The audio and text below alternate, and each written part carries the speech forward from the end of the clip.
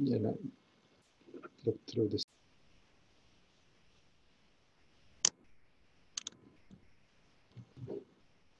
So uh, good afternoon, colleagues. Thank you for joining us. This is the sixth in the webinar series from the MCCN Explore team. Today's focus will be neuro-ophthalmology, specifically the afferent pathway. Uh, today's host is Mr. Ali Yagan, he's a consultant ophthalmologist at the Royal uh, Eye Hospital in Manchester with an interest in neuro, uh, neuro-ophthalmology. Uh, just before we start, just some housekeeping. Um, if you have any questions, just type them up in the chat and we'll try and address them at the end or raise your hand. Uh, we would ask that you try and keep your microphones on silent as well. Um, and at the end of the talk, we will release a link for a survey, which we would be grateful if you could complete, just helps us to learn and improve. So without any further ado, I'll hand you over to Mr. Ali Yagan. Thanks, John. Thank you for the invite. Uh, and I hope this is a useful evening for all. Um, I'm sorry to bore you with neuro-ophthalmology for about an hour or so. Um, so my name is Ali Yagan. I work as a consultant neuro-ophthalmologist at the Eye Hospital in Manchester. Um, we'll talk today primarily about the swollen optic nerve and with some, some reference to the visual pathway as a whole. Um, so why why we're concerned about this? Um, let's go through the slides.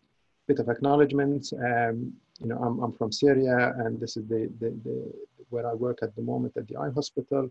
Um, ophthalmology is a bit tricky to to write, never mind to understand. So um, I'll try to make it as as simple and easy to understand as possible. Um, so the afferent pathway, we, we focus on it because in fact, as, as neuro-ophthalmologists, it makes up about 60 to 70% of our workload in neuro-ophthalmology. There is lots of, you know, swollen optic nerves, concerns about um, unexplained visual loss, things like that. And we get quite a few of referrals from, from outside the eye hospital and from colleagues in the eye hospital itself uh, for things that, you know, you can't see it straight away in, in ophthalmic examination. So by definition, it kind of falls into neuro-ophthalmology. Um, people assume that you know looking at the optic nerve is easy and the, the, the, the, the things that you'll find there are easy to spot and understand, but it's not always that simple, unfortunately. It's usually difficult to diagnose, although you can see the problem with the optic nerve, it's usually difficult to understand why this is happening because what the optic nerve can do when it's you know affected by acute insult is usually only swelling. It can't do anything else but there is lots and lots and lots of, of causes that you kind of need to do lots of usually very expensive investigations to try to understand uh, what what you're looking at. And I think one of the primary aims of this talk today is to try to have a structural approach to optic neuropathies and where you can you, you still need to investigate, but you kind of targeted investigation rather, than you know widespread uh, blanket investigation and hope that you'll catch up something. Uh, so obviously majority of us know the anatomy of the optic nerve. It starts from the back of the eye. It's the culmination of the nerve fiber layer from the ganglion cells at the back of the eye. Uh, and, and, it travels through the orbit. There is four segments, ocular segment or intraocular segment, and then the orbital, then intracanalicular, and then intracranial segments it's the only uh, cranial nerve that's that's surrounded by the meninges and with CSF cuff around it, and that makes it part of the CNS rather than part of the peripheral uh, uh, nerves. Um, so a couple of pictures, as you can see here. Let's see if we can show you on my screen. So that's the optic nerve traveling from the back of the eye, blood supply to the optic nerve, and it travels through the orbit all the way to the uh, optic canal and then into the intracranial space. And these are the segments with the length, relative lengths of each one of them. And as you all know, uh, both optic nerves go to the optic chiasm where there is a, a halfway kind of dissociation. So only the nasal fibers cross over to the other side while the temporal fibers stay on the same side. That's really important because it helps us understand the visual field defect that can happen from uh, neurological causes of optic neuropathies. So problems like that affect the Uh, chiasm can, can cause bitemporal hemianopia, problems that affect the visual pathway behind the chiasm, so the optic, uh, optic tract or, or the optic radiation will usually cause hemianopic field defect. And if you look at the, the face of the optic nerve when we look at it, uh, each segment of the optic nerve is responsible for part of the uh, peripheral vision. Uh, so on, on the cross section, the temporal part of the optic nerve usually feeds the macular area, while the nasal part, for example, feeds uh, the nasal part of the peripheral vision. Uh, because of the lens inside the eye, the upper part of the nerve is responsible for the lower part of the visual field and vice versa. And again, the blood supply of the optic nerve that comes usually from the posterior communicating arteries, which are tiny vessels that surrounds the optic nerve, like this one and this one, and then they branch and feed the optic nerve. While these two big vessels, one is the artery and the other is the vein, they are the retinal arteries and they are not responsible, in, in majority of cases, not responsible for, for the blood supply to the optic nerve, but mainly to the retina itself. Nowadays, we depend on, on this OCT scan, and for, for non-ophthalmologists, it's something that might not be familiar with, but OCT scan is, is something that we do day in, day out. It's, it's a significant instrument that helps us understand the structure of the optic nerve and find uh, you know, any subtle abnormalities. And essentially, what it does, it gives you a, a cross-section through the optic nerve using light rather than using ultrasound. So uh, on this example, this is a completely normal optic nerve. You can see the picture of the back of the eye of the fundus, clear margins of the optic nerve, and this green light, the cross section here, is through the retinal layers, and you can see that the, there is what we call a cup in the center, and the layers of the retina. Uh, and then what, the, what this machine also does, it compares this, this nerve fiber layer of this patient around the optic nerve with the general population. So you get this wheel of, of green lines suggesting that this is completely normal. And again, another example where here you can see that this machine is measuring the thickness of the nerve fiber layer of the optic nerve and comparing it with the general population. So the black line is where the patient is and the comparison is with, with the general population and obviously green is normal. So what does the optic nerve serves? It, it has primarily four functions, the visual acuity or the central visual acuity where you know you can test on the Snellen chart and, and things like that. Uh, the color vision, uh, the peripheral vision or what we call a field tests, and the pupil reaction. So let's drill through these one by one.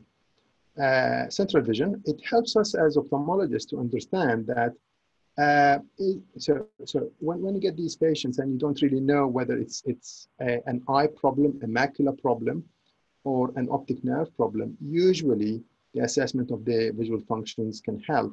So for example, uh, optic nerve problems tend to affect the vision quite late on, while the macular problem or, or the retinal problem tend to affect the visual acuity quite early on. Usually with the macular problem, you get what we call a distortion of vision. So patients come to you and say, my vision is distorted rather than uh, blurred. Um, the optic nerve problems usually cause what we call a, a, a, negative scotoma. So patients complain that there is a missing part of their vision compared to uh, patients with macular problems where the, the vision is distorted and sometimes blurred, but not missing. That's, that's quite key and important to try to understand, especially in subtle cases. Color vision, we tend to use, there's lots of you know, ways of, of testing that. The, the, the one that we tend to use in Manchester is the, the Ishihara uh, chromatic plates. And, again, to try to differentiate the optic nerve from the macular problems, optic nerve uh, diseases tend to affect the color vision quite early on compared to the retina problems. So it's the reverse compared to the visual acuity peripheral vision and obviously anything that affects uh, the, the, the, visual pathway can cause a field defect. But really trying to understand whether this is something happening because of a problem inside the eye itself, like you know patients who had laser or patients who had glaucoma or something like that, or is it a problem in the visual pathway neurologically?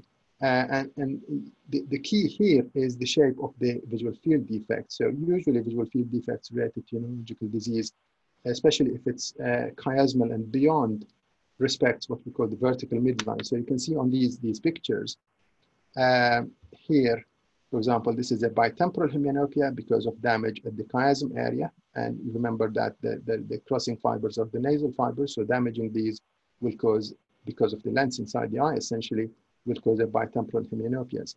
While if you if you go further back and you cut the, the tract, for example, you will get you will get a hemianopic field defect on the contralateral side of your of your disease. Uh, and, and, the further back you go, the more what we call congruent, the more accurate and similar the, the field defects become uh, until you reach the, the visual uh, cortex and the uh, occipital lobe. Um, and the last thing we, uh, I need to comment on on the visual functions is the RAPD or the relative afferent pupillary defect. And because the, the fibers and the, and the optic nerve, part of the fibers of the optic nerve control the pupil reaction.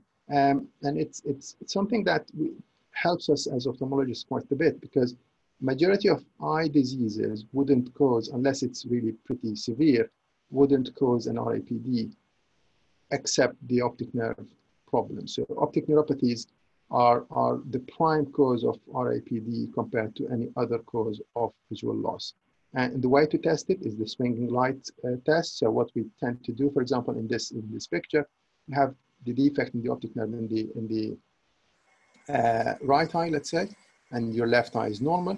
So you shine the light and this one, because it's defective, it, it, it constricts only to four millimeter. While if you shine the light on the other eye, it, it constricts, the pupil constricts to two millimeter. So when you start swinging from this one back to this one, what happens is the pupil will only react to four millimeter. So instead of being two, it will move to four. So you will see that paradoxically, it's dilating rather than constricting, although you're shining a light into it. So that, that helps understand the concept and it helps us understand whether it's, it's a, a, a, an ocular disease or is it an optic neuropathy? Um, so as we said, the response of the optic nerve to acute injury is only swelling. And the key for us is try to differentiate uh, what's causing this swelling and figure out uh, whether we can do anything about it or not. And the questions that I'll pose uh, for you in, on the next few slides is to try to go through that.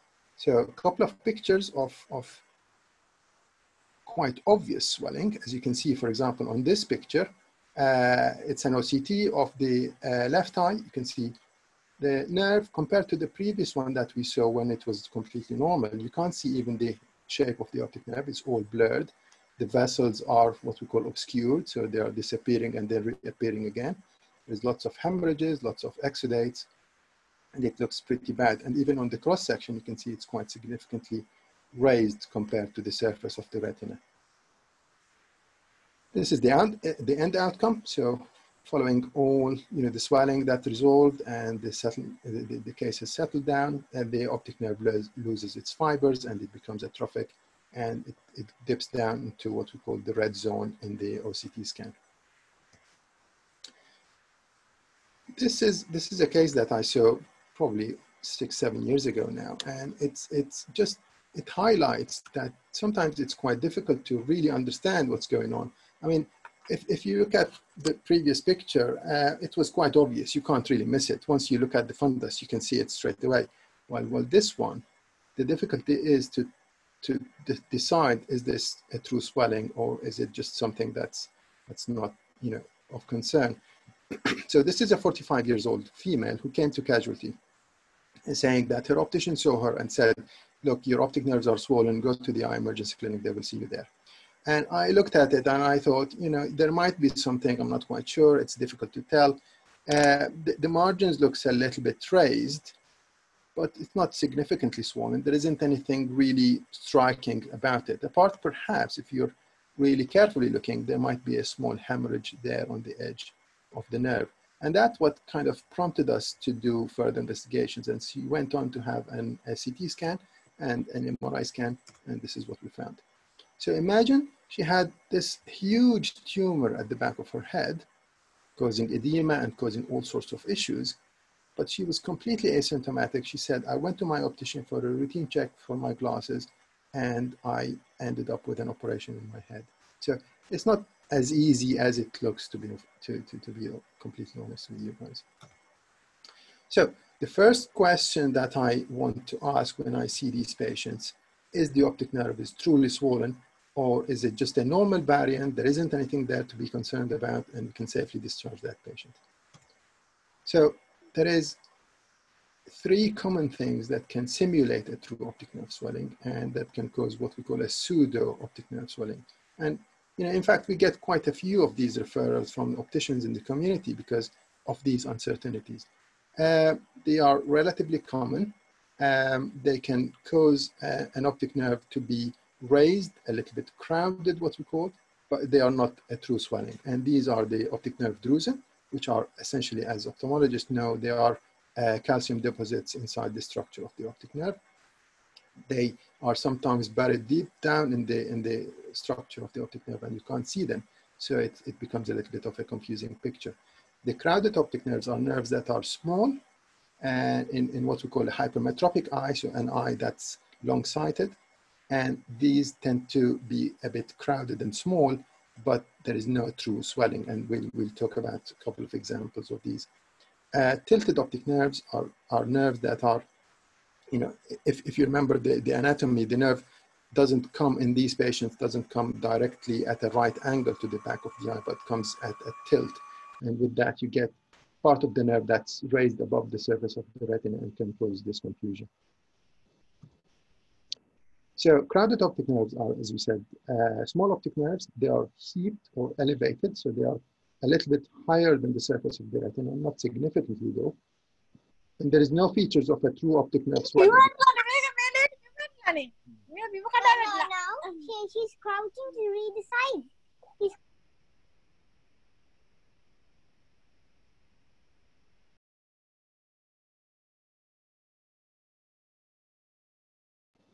We can't hear her. Yeah, so I got muted like everybody else. So the uh, where were we? So the, the, there is no features of a true optic nerve swelling, and in, in the next couple of slides we'll talk about the features of uh, the true swelling.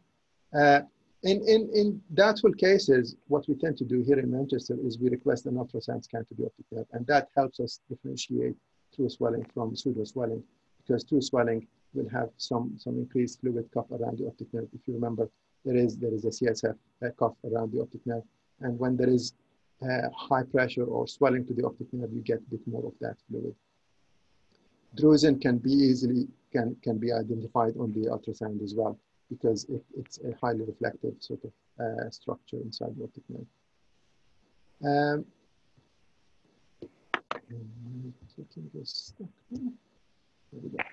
so this is an example of an optic nerve drusen. Uh, you can see that little spot there on the fundus and in the structure of the optic nerve, there's a bright sort of lesion inside the optic nerve. Um, this patient has got referred from optician querying optic swelling, optic nerve swelling, but uh, following an ultrasound scan, we felt it's not, and we just discharged the patient.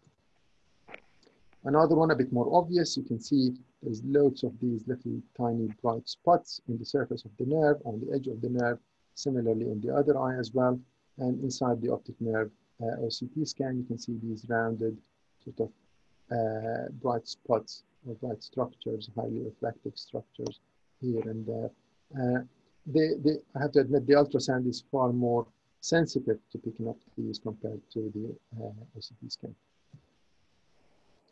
Uh, an example of uh, a crowded optic nerve, so, and with a bit of tilt actually. So you can see that the nerve is coming to the, to the back of the eye with an angle. So the temporal side of the retina is a little bit lower than the nasal side of the retina, and the nerve is bulging into, some, into the retina itself without, without being completely flat.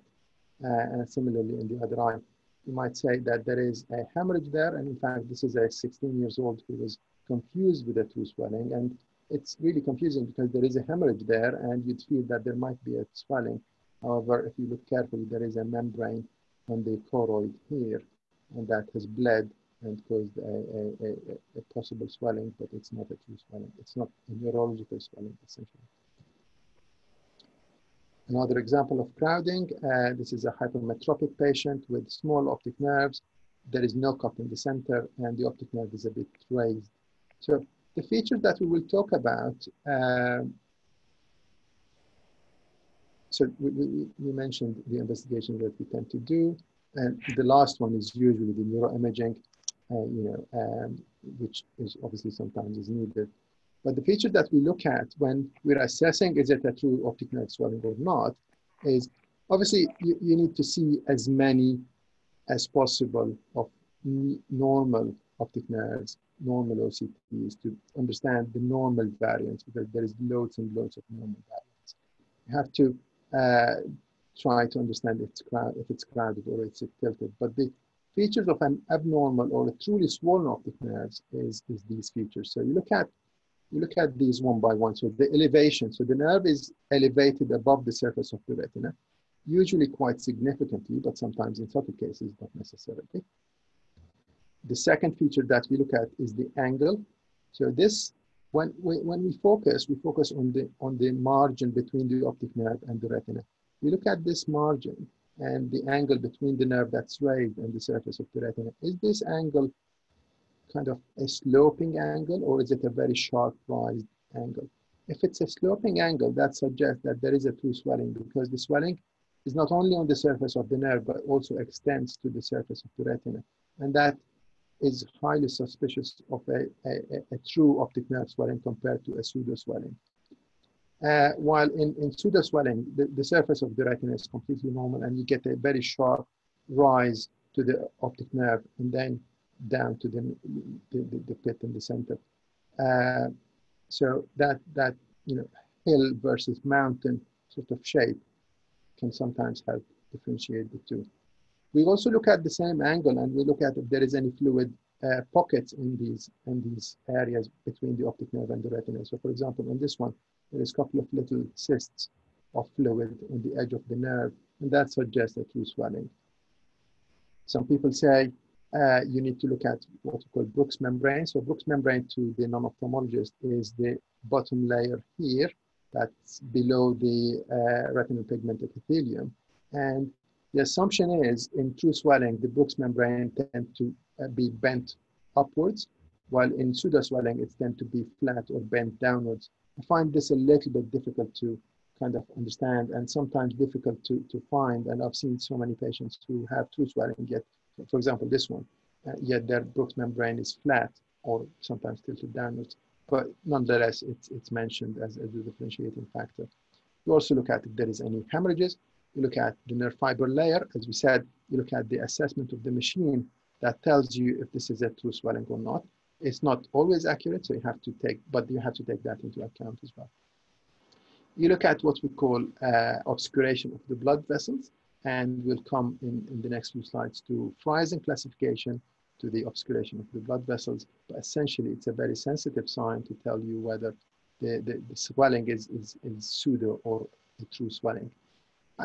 What I've, I've always said is it's, it's always a piece of jigsaw. You can't really depend on one of these features on its own. You have to take into account the history of the patient. You have to take into account how he present or she presented, whether there is any symptoms or not, and what are their visual functions, and then look at all these features in conjunction together, and then make your decision, does this warrant further investigation, or let's just assume it's a normal variant. So we've, we've established that it is a true optic nerve swelling. The next question for us as ophthalmologists to understand is, is it unilateral or bilateral? Because we, we need to, to, to do that because the, the, the, the investigations pathway for unilateral optic nerve swelling is completely different from bilateral optic nerve swelling. The things that can cause unilateral optic nerve swelling need to be, you know, they're usually the ones that in front of you on the screen, but they are completely different from what you'd look at when you're assessing a bilateral optic nerve swelling. So common things are common, uh, inflammatory optic neuropathies, infectious optic neuropathies, vascular optic neuropathies, compressive, infiltrative, and traumatic. Um, if we start with the inflammatory ones or what we tend to call as optic neuritis, there is two main uh, types of it. There is the typical or the myelinating optic neuritis and the atypical or the non-typical optic neuritis, which can be because of any other uh, inflammatory cause like sarcoid, for example, and we've, had quite a few of these. Infectious, uh, direct infection to the optic nerve is quite rare. It's usually a para-infectious picture where the inflammation or the infection actually is, is in the sinuses around the optic nerve. But nonetheless, we've seen ones that invade the orbit and cause direct uh, infectious optic neuropathy. Uh, vascular optic neuropathies are quite common. Uh, uh, you can get this in the context of what we call non-arteritic, age-related uh, ischemic optic neuropathy, or in the context more seriously, obviously in GCA or giant cell arteritis. Diabetics can, can have some swelling to the optic nerve, which is vascular in nature, but usually benign with no, with no uh, disruption to the visual functions. The other uh, features are quite rare, obviously. so the inflammatory one, or the optic neuritis, uh, the, the, the key here is because it's inflammatory, it's usually acute with some pain, but it's what we call a, a subacute presentation. It's not a very acute, hyperacute presentation. The patients complain of loss of vision that happened very, very quickly, but over a period of, of few hours to one or two days rather than a sharp, sudden onset loss of vision in, in, in, in a second, essentially. And that, that helps us differentiate a vascular cause from an inflammatory cause. Uh, the typical ones uh, will, uh, the next slide will show that, uh, will, will have uh, some pain behind the eye when they present, loss of vision, loss of color vision, a field defect of some sort, and, and an RAPD, obviously, because it's an optic neuropathy. To investigate them, you will need the standard stuff that we tend to do in Manchester is neuroimaging, MRI scan, and some blood tests looking for inflammatory causes, primarily if it's all typical, uh, ruling out uh, MS mimics like anti-MOG antibodies and anti-aquaporin 4 antibodies. And treatment is all based on the uh, ONTT trial, the optic nerve treatment trial. It's quite an old trial now, but still the gold standard for treatment, where if the loss is uh, 660, have a sip of water. So if the, the visual loss is 660 or better, we tend not to treat. If it's below that, we tend to treat with a high dose of uh, IV steroids. So just for the uh, interest of, of, of people of non-ophthalmic background, perhaps, the typical features of optic neuritis are women uh, of, of young to middle age with some pain behind the eye, some reduction of vision up to what we call hand movement level. The color vision, as you said, will be reduced. There will be field defects and an RAPD. There will probably be no optic nerve swelling or very little because it's mainly what we call retrobulbar. So it's in the orbit behind the globe rather than on the nerve, on the, on the nerve head itself. Usually we tend not to investigate them, but with an MRI scan and aquaporin 4, as we said. But if it's non-typical, if there is lots of other features, like you know lots of pain, for example, or lots of swelling, then you'll have to do all sorts of other blood tests, essentially looking for infectious and autoimmune causes. So, you know, a very, very common presentation in the eye emergency clinic, to be honest with you. Young female, 35 years old, sudden loss of vision over a few days, some pain, vision reduced to hand movement, color vision is reduced. There is an RAPD diagnosed with a typical optic neuritis. There was no treatment, although her vision, I, I, have a reservation on this because her vision was, was quite low and I would have probably canceled her about starting treatment, but she wasn't treated. Um, she had the uh, anti-MOG and aquaporin 4 antibodies and an MRI scan. Uh, usually the prognosis depends on the finding in the MRI scan, whether she is likely to develop MS in the future or not.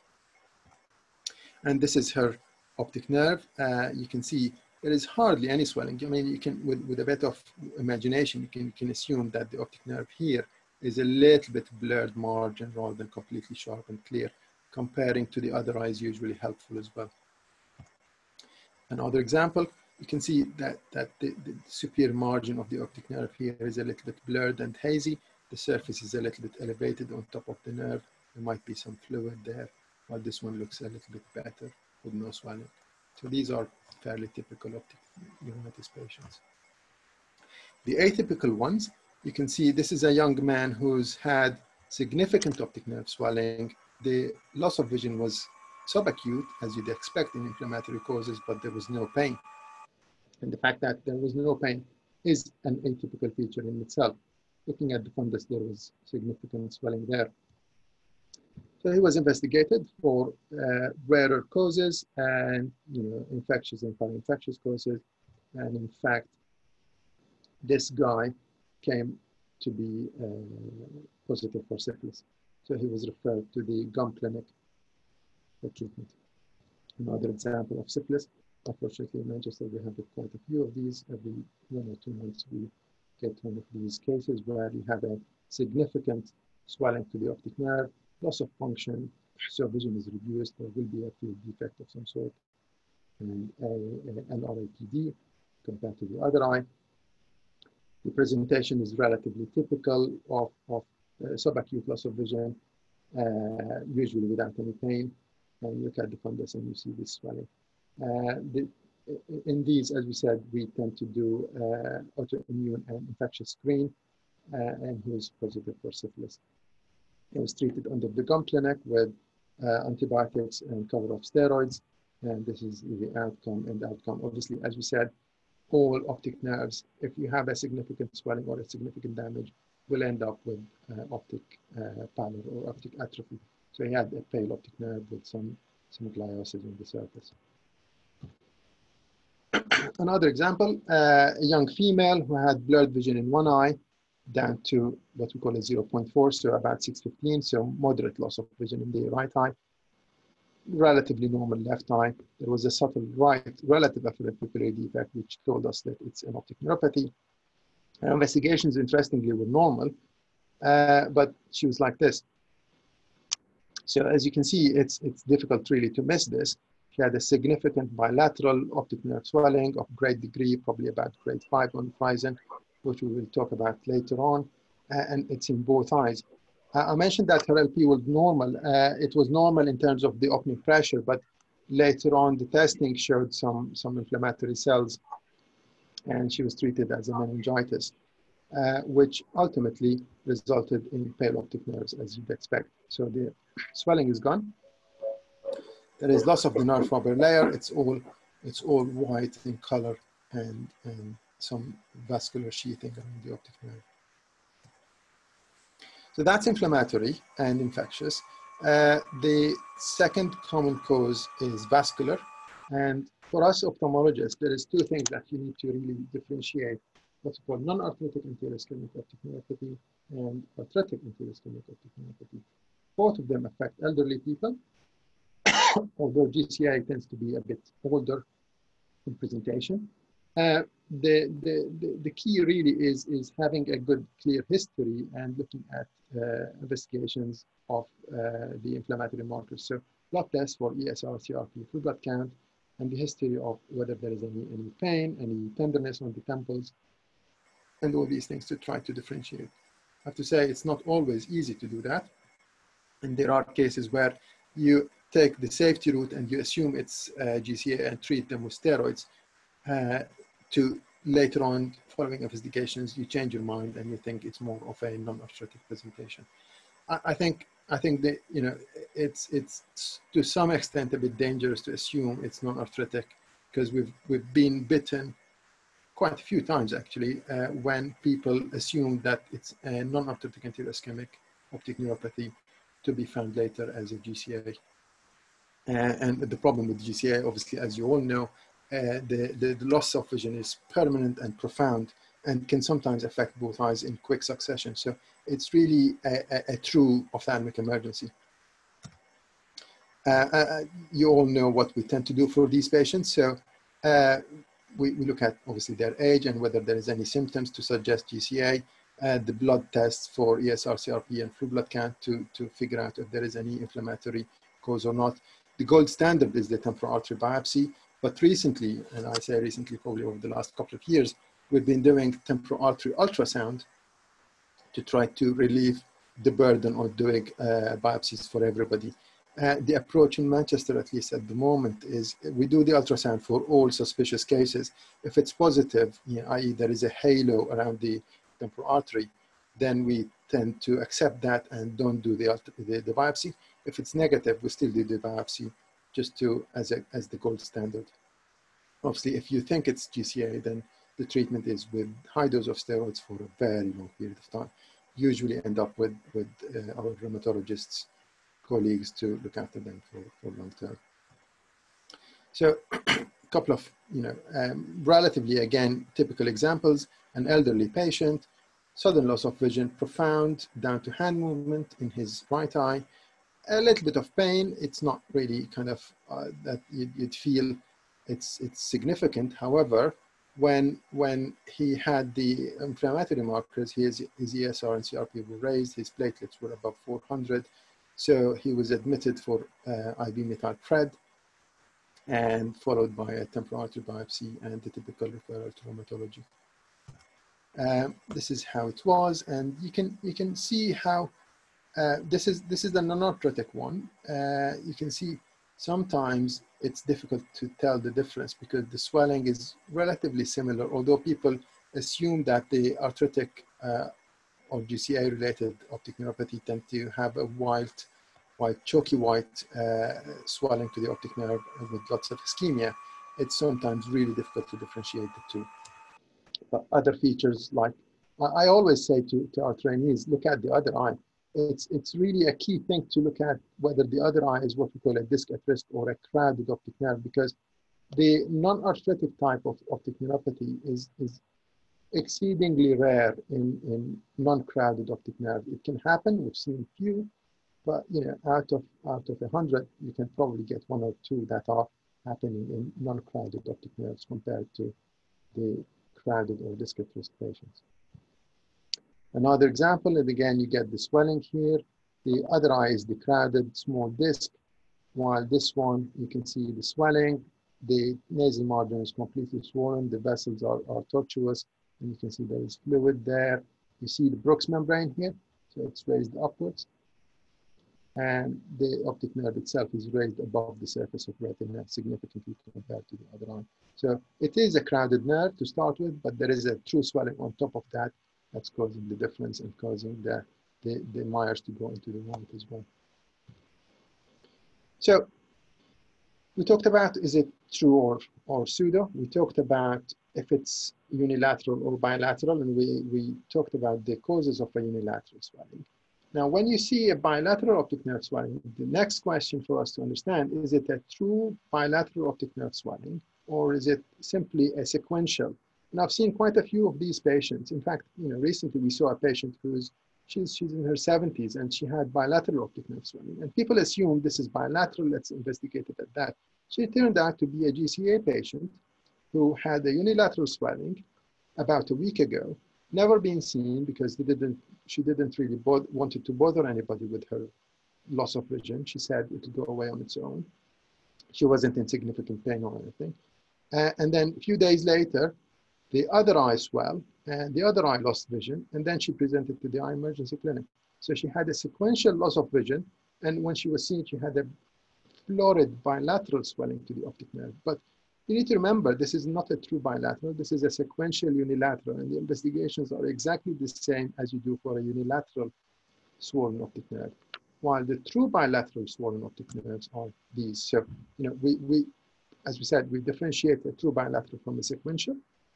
And then there's two possibilities here. It's either a malignant hypertension. Usually you see lots of changes on the fundus, but not necessarily all the time. Usually you can easily pick it up once you check the patient's blood pressure.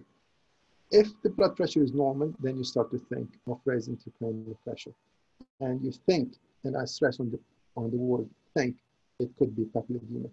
People need to remember, and we get this quite a lot from referrals from our optician colleagues, that papilledema is a diagnosis. When you say to me, patient has got papilledema, that means you've already tested their intracranial pressure and you know it's high. To label any uh, swollen optic nerve as papilledema is pretty dangerous and in, in fact it's completely wrong. papilledema is a diagnosis. It means that you've tested the intracranial pressure, you know it's high.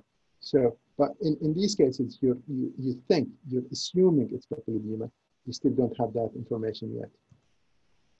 So, causes of a true optic nerve swelling that is bilateral from raised intracranial pressure. Top of your list, obviously, is the idiopathic one. But it's a differential of elimination, uh, a diagnosis of elimination. So you, you, you think it is, but you have to rule out all other possibilities. So we, we go through history and we ask patients about lots of medications like these ones, vitamin A. You'd be surprised how many patients take vitamin A supplements or even use uh, skin creams for acne that has vitamin A in it and tend to present to the eye emergency clinic with swollen optic nerves from raised intracranial pressure. Tetracycline is another example contraception is a risk factor. There is some suggestion that it's, it's, it's linked, but it's, it's a weaker sort of uh, evidence. Uh, medical condi conditions, uh, kidney failure is top of your list, Addison disease is another one. Um, but primarily what you're looking at is if, if, there is anything inside the brain. So brain tumors and sinus thrombosis. That's why these patients, first thing you, you do is you send them straight for, for neuroimaging. So they, you need a, a CT or MRI scan, depending on your local arrangement. You need a venogram of some sort, either a CT venogram or MR venogram, and then you need a lumbar puncture to check for the pressure. So the idiopathic ones, the, the general features of the phenotype of these patients is, is usually fairly typical. You get it in, in, in young women who's uh, in, in, in young to middle age with uh, raised BMI. So they are overweight slash obese. These are the typical features. They complain of headaches. They complain of pulse synchronous tinnitus. Uh, it's, it's really key here, again, the history. And I, I can't really stress the importance of taking history in your ophthalmology because, you know, you ask any patient, do you have headaches? All of them will say to you, yes, I do have headache. I have headaches. It's really quantifying that headache and understanding what type of headache you're talking about. Is it migraine? Is it uh, tension headaches, is it something that you'd link with raised intracranial pressure or not? And tinnitus, again, patients would say to you, yes, my ear rings all the time, it's, it's pulse synchronous. It's, it's hearing your heart pounding in your ear rather than just any tinnitus. Obviously, the other features, you see the papilledema, which is usually, and I again stress on usually bilateral, usually symmetrical, but not always. We, we've seen so many patients who have very asymmetric uh, optic nerve swelling in papilledema. We don't really understand why, but it happens. We've seen strictly unilateral swollen optic nerves in papilledema patients or confirmed raised intracranial pressure. So it's, it's very unusual to be unilateral. Uh, not that unusual to be asymmetric, but it can be. So we have to be careful about that. Uh, now it's time to talk about, so the investigations, as you said, CT, CT venogram, and followed by lumbar puncture. And then the treatment really is around uh, either you monitor them without any treatment or medical treatment, usually acetazolamide or surgical treatment, which is usually either a shunt or, or optic nerve fenestration. So what is Frisén grading? We've been talking about this for, for a while now.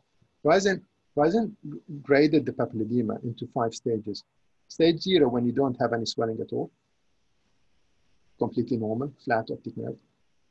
Uh, one is when you have a swelling to the optic nerve where all the margins are blurred, you can't see the margins apart from the temporal margin. You need to remember the swelling happens usually the superior and inferior and the nasal before the temporal gets swelling. So in this one, you get this C-shaped cup or halo around the optic nerve, sparing the temporal gap. So that, that's grade one. This is relatively mild, probably doesn't need any treatment. Grade two is a step further, so you get it at 360 degrees. So even the, the temporal margin now is a bit smaller. So the margin, as you can see, it's all blurred. You can't see it, but you still don't have what you call obscuration. so on grade three, the obscuration happens. So the obscuration means that the vessels are, are not seen in part of their tract. So you can see this vessel, for example, and then it disappears here and then reappears here. So that suggests a true swelling of grade three. And that, that, that's So, so grade three and above are the ones that you get really concerned about. You don't want to lose them. You don't want to, because the optic nerve cannot tolerate this amount of pressure for long.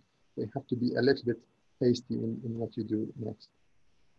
So in the obscuration here, you, you lose the major blood vessels as they leave the optic nerve. While in grade four, you lose the major blood vessels on top of the nerve itself. So as you can see in this example, and we have, I'll show you a picture of very similar patient to this that I showed last week uh, with, with grade four, where the vessels are obscured on the surface of the nerve itself rather than just on the edge of the nerve. And grade five is the worst, is when all the vessels now are obscured. You can't see any vessel, it's just a lump of white blood on the surface of the nerve, suggestive of very, very grave prognosis for this patient. It is likely these patients tend to lose quite a bit of their visual functions. So features of uh, IIH, you can't diagnose it unless you have these. So you, you, although there is there is a rare occurrence where people say it's IIH without uh, papilledema, but it's it's a controversial area, I have to say. Um, but papilledema is a feature. Neurological examination is completely normal, except except uh, cranial nerve palsy sometimes where you get a fourth or a sixth or sometimes a seventh nerve palsy. Um, normal MRI scan, but there are features that can suggest raised intracranial pressure. I have to say these are all very non-specific, but they can, they can suggest that. And obviously following a CSF lumbar puncture, uh, the CSF constituents are normal, but the opening pressure is above 25 centimeters of water. and these are some of the medical conditions that you need to ask your patient about when you suspect raised intracranial pressure before saying it's just, you know, idiopathic intracranial hypertension. And the key ones, as we said, you know, kidney failure is one. Uh, medications, as we said, vitamin A is up there, and sinus thrombosis obviously is a critical one that you need to investigate by doing uh, a venogram of some sort. However, still, despite all that, it's a very difficult diagnosis because it involves lots of investigations. Some, some of them is, is invasive. Obviously, we're doing a lumbar puncture. Uh, the ultimate treatment is obviously weight loss, um, but it's not that easy. I mean, you can try to convince your patient to lose weight, but it's not that easy all the time. And you get these patients waxing and waning, losing some weight, and then gaining it back again. It's also, uh, pregnancy is a difficult period because you can't treat them with anything and they put on weight headaches are very refractory. Problem with headaches is no matter what you do, majority of them will end up with chronic migraines. So despite that, you've sorted their pressure out, they're still complaining of headaches. And obviously there is lots of side effects from the medications. Uh, so this is an example, very, very typical, as we said before, 19 years old, some headache, seen optician, swollen optic nerve, sent to the eye emergency clinic, bilateral swelling, sent to the medics. Uh, she had a normal CT, CT venogram lumbar puncture with raised intracranial pressure, IIH diagnosis, and this is her pictures.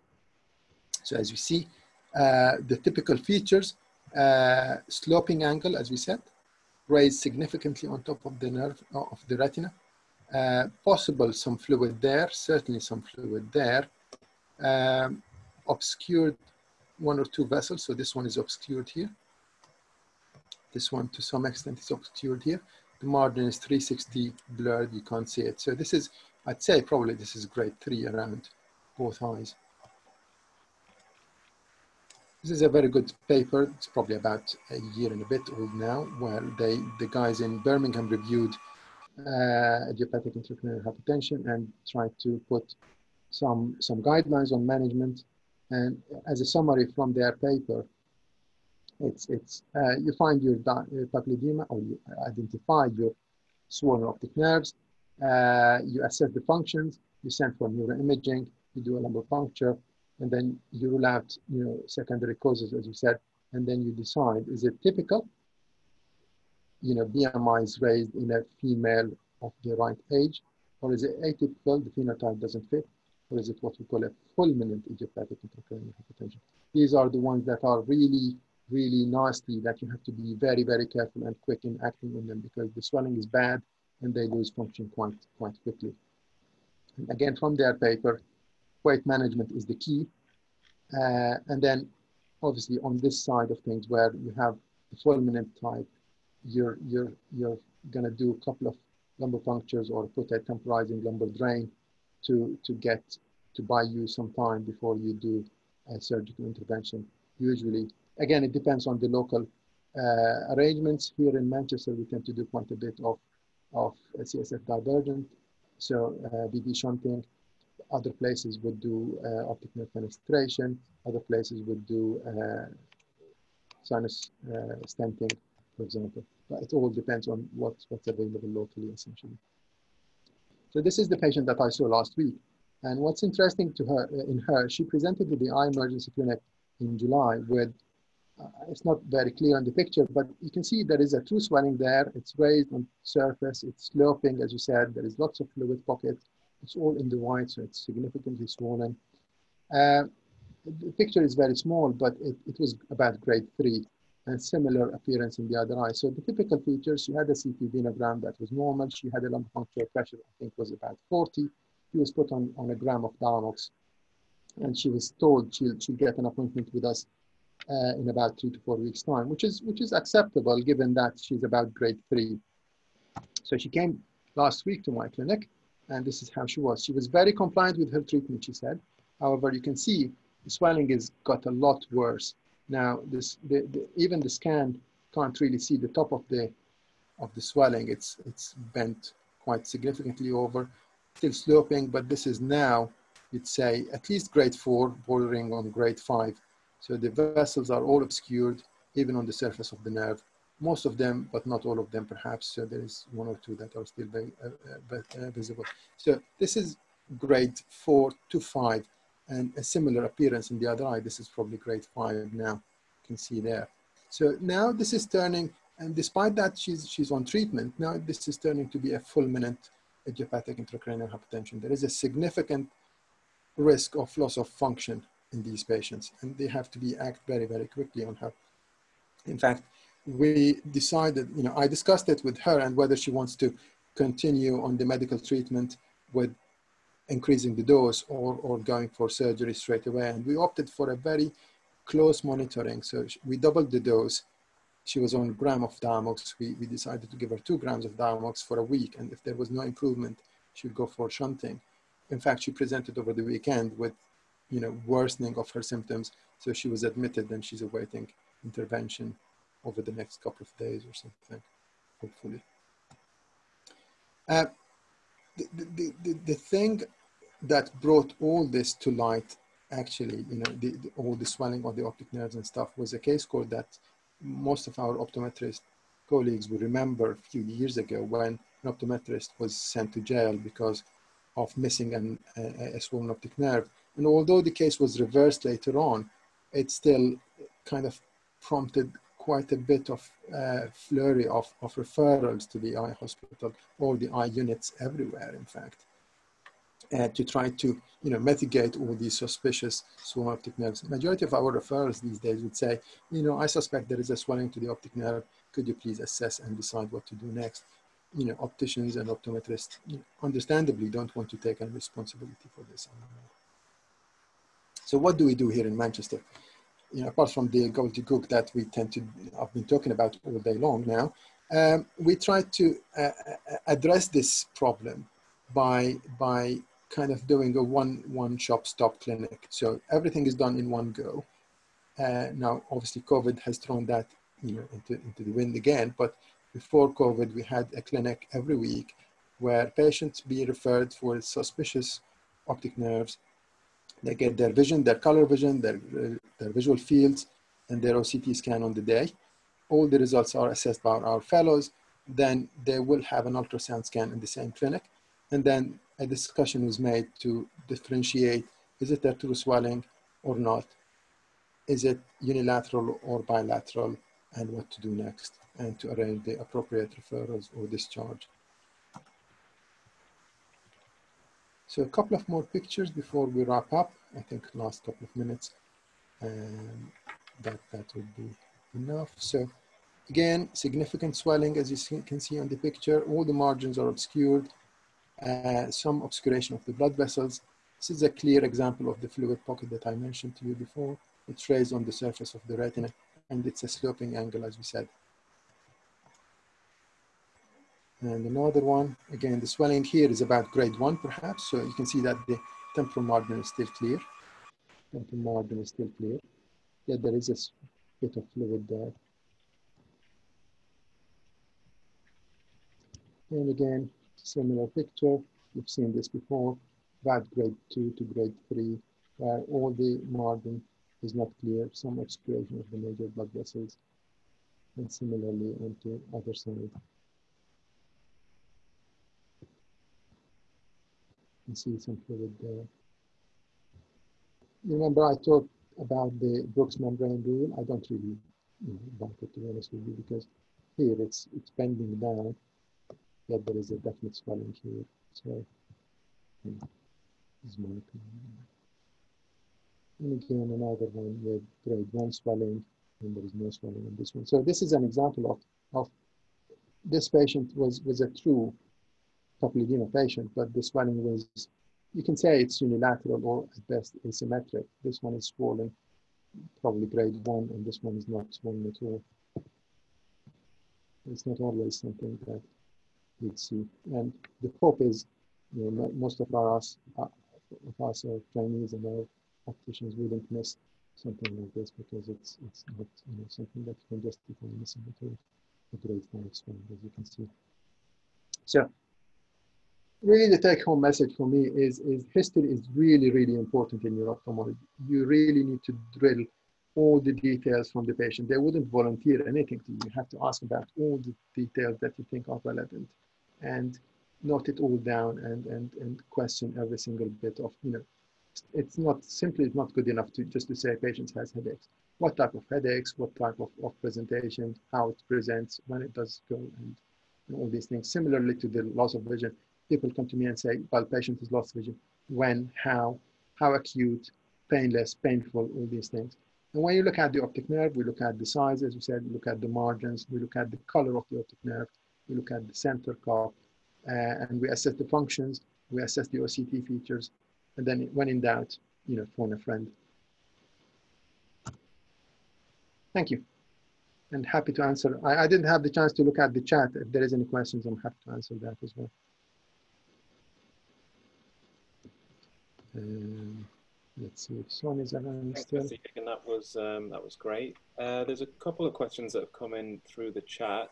Um, if people want to take this opportunity to unmute their microphones and ask the questions. Yeah, happy. Uh, hello, Mr. Yegan. Hi. Um, I have one small question uh, regarding giant cell arteritis, Yep. where uh, we test the ESR as well as the CRP. Uh, now, they're obviously usually on a Friday night, they- they're usually borderline. Uh, wh- what would you look more at? Is it the CRP perhaps or the ESR? Very Uh, good question, Hassan. Thank you. Uh, I think both of them are important. Uh, the, the, the textbook says ESR for some reason, although the CRP is the more acute one, and that tend to be a bit more sensitive, in my opinion. Um, I'd, I'd tolerate a bit of raised ESR with the normal CRP. If it if the CRP is, is high, I'd, I'd be a bit more twitchy about it. But it's all you know taking it into context, and if there is anything else going on, uh, the whole picture, as you said. Thank you.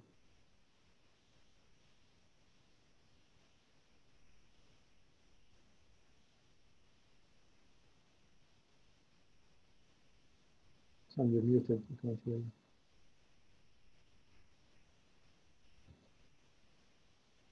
Sorry, I was on mute there. Yeah.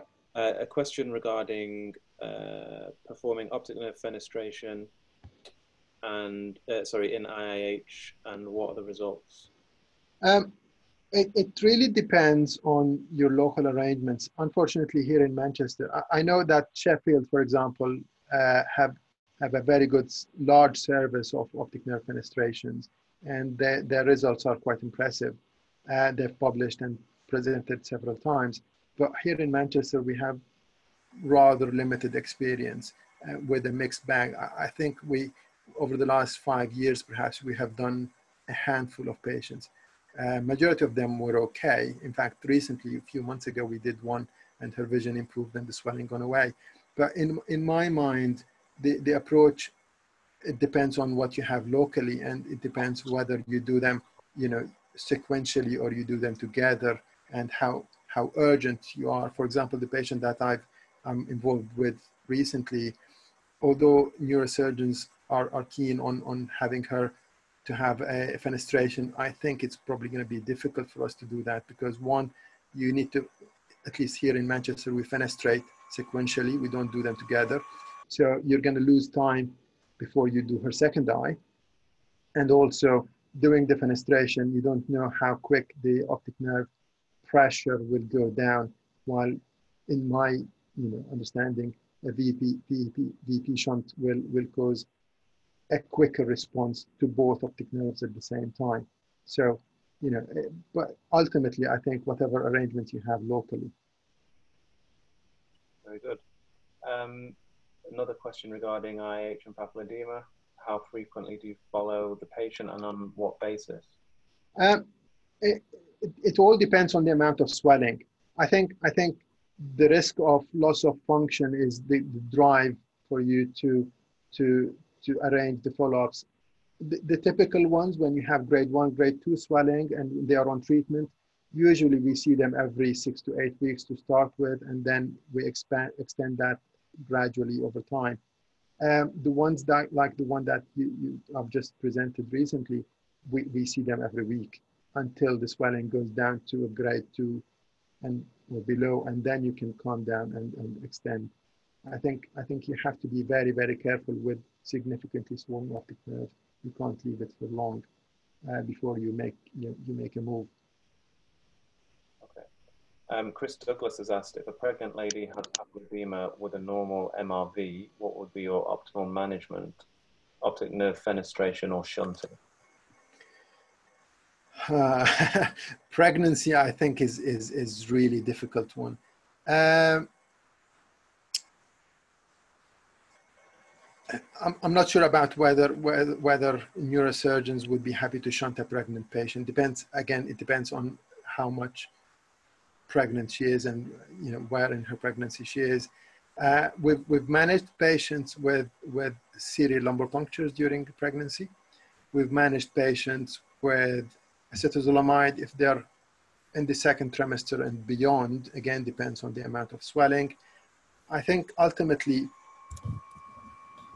patient's decision would play a role and you can you can you can discuss with the patient whether they're prepared because optic nerve fenestration is not risk free I have to say that there is a well documented low risk of complete loss of vision following fenestration so you know you're, you're, you're trying to save vision that you can wipe out during the surgery completely.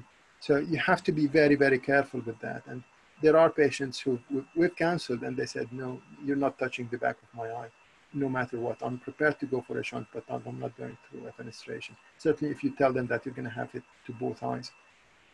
Now, if you had IIH, would you prefer a shunt or optic nerve fenestration? um, I'd go for a shunt.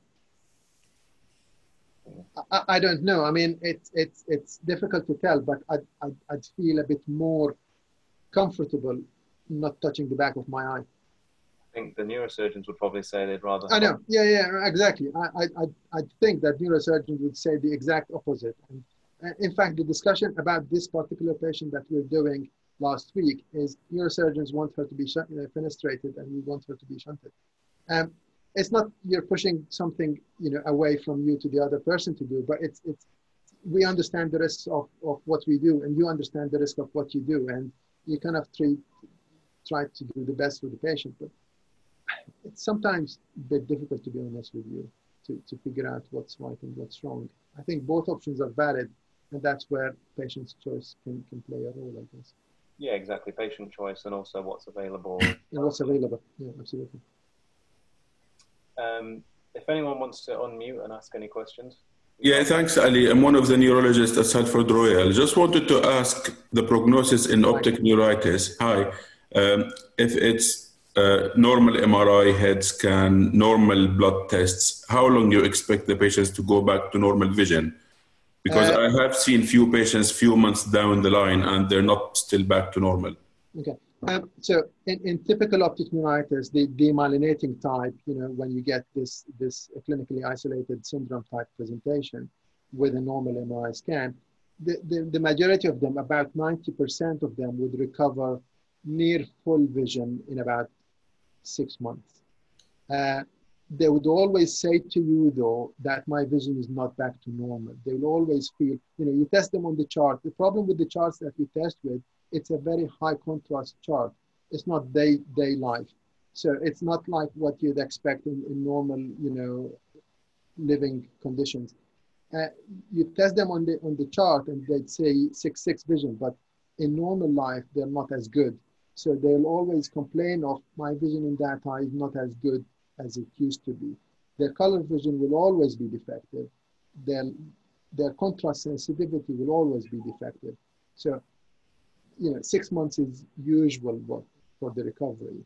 Majority of them do recover a lot quicker than six months, but we've seen patients who go to up to six months. Okay, thank you very much. Thank you.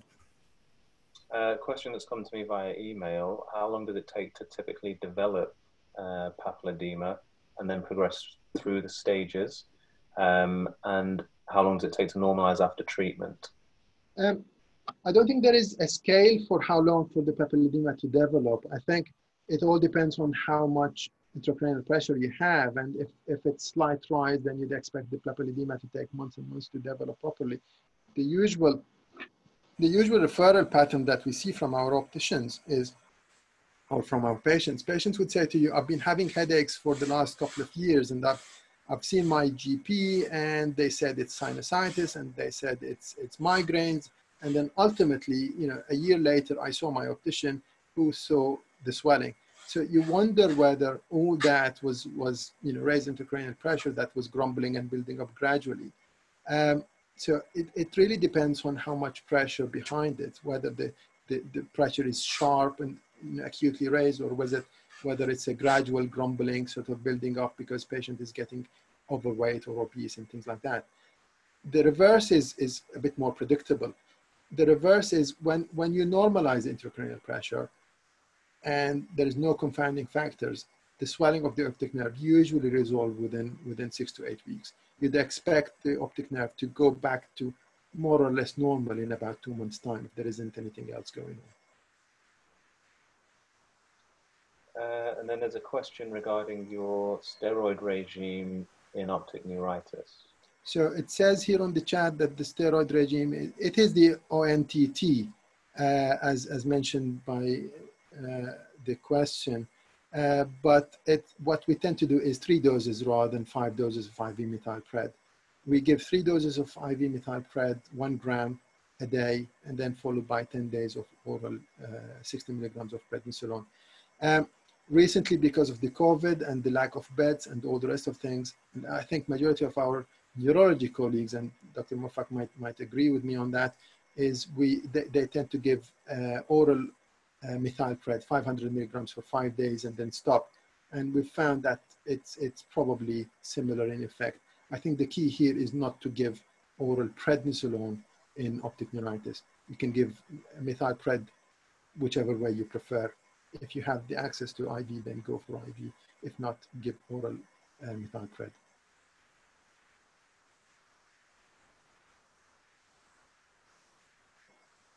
Any more questions? I think we've gone through all the questions. Thank you very much for your Thank time. you. Thank you again for the invite, and I'm, you know, really pleased with this. It, it would be great if you could follow up with another talk, no pressure happy to. Let me know when and and I'm happy to. I think if if we decide to do that i'll probably talk about the the afferent pathway and talk about ocular motility to some extent. But whenever you're let me know. Great. Thank you. I'll end the meeting there